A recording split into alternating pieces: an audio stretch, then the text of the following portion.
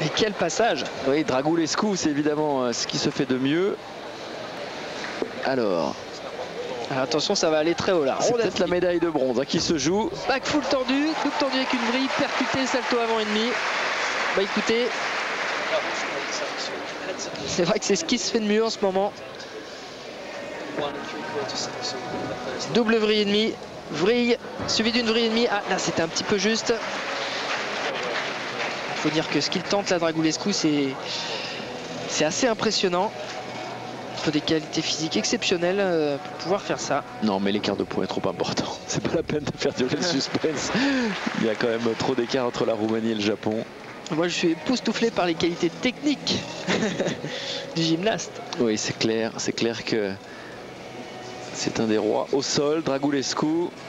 Ah, Il est en tête hein, euh, des qualifications à cet appareil. On va le retrouver bien sûr en finale. Diabolique, le corps tendu.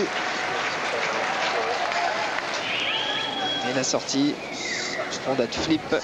Full full groupé.